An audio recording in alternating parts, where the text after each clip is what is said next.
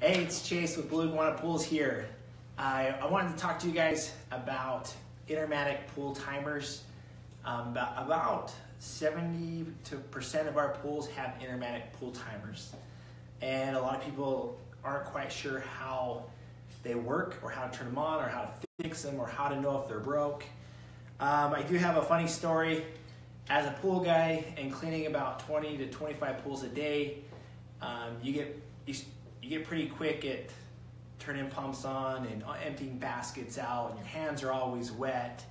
And these timers not always have this little guard for the electrical. The electrical, usually from the sun, this guard will uh, kind of break away and you'll lose it because it gets sun rot.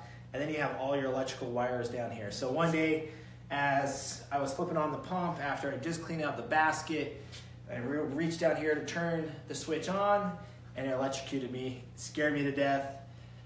And then I realized we need to you need to make sure that you have these protective plates on all of your timers. If you don't, we can get them for you, um, or you can get them online. But these Intermatic timers are kind of the original timers. Uh, still quite a quite a few of these. The way you turn it on is just from this on-off toggle switch right here. Um, to know what current time is on the timer is right underneath this silver arrow. And then if your power turns off or your breaker shuts off or you turn the power onto your house and you need to adjust this time, you just literally grab the dial and pull it out and you can adjust it to the right time. Um, and then on off switch. And then how do you know if it's not working? Because you can't just sit there and stare at it and wait for it to change time. But if you look back through here, it has a little peek hole and you'll see gears. And the gears go to this motor back here. If those gears are not moving, then you need a new timer. And so that's just a quick reference uh, for our guys out in the field to know if the gears are working. We always tell them to just look through the hole, see if you see it moving. If they're moving, then the gear the, the timer's working. If they're not moving, then the timer's not working. Um, and then it rotates clockwise, and then you it comes with two pins. And you can put multiple pins on these timers to have it run two different times a day or just eight hours at night.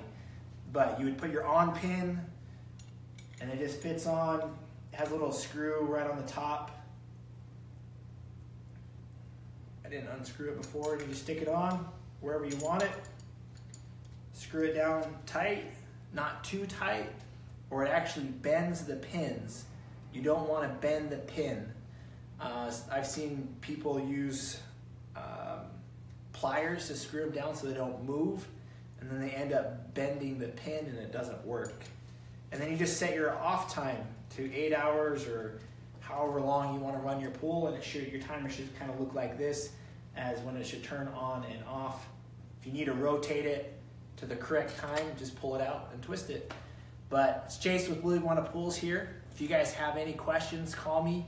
Um, if you need any repairs, call us. Uh, thank you for all you guys do. We'll talk to you later.